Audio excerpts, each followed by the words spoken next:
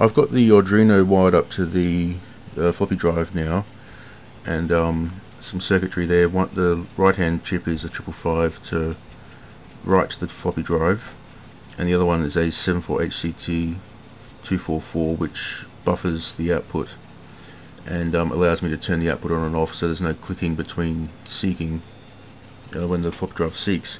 But I've got a keyboard wired up to it and it seems to work quite well.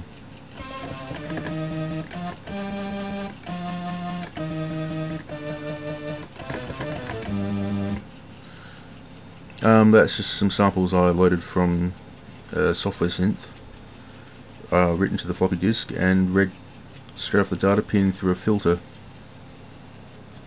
You know that seems to work quite well so I'll probably put up some circuit diagrams for it and see what goes on from there